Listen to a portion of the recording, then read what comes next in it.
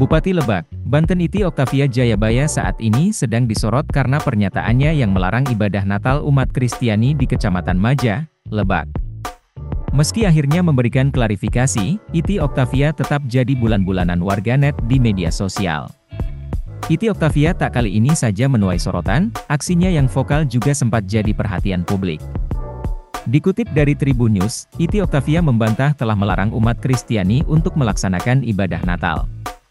Dijelaskan olehnya, di wilayah Kecamatan Maja, belum ada gereja yang berdiri secara legal. Untuk itu Iti meminta agar umat Kristiani di wilayah Maja untuk menghadiri Natal bersama di Rangkas Bitung pada 27 Desember mendatang. Itu juga menjamin setiap umat beragama di wilayahnya dapat menjalankan ibadah sesuai keyakinannya.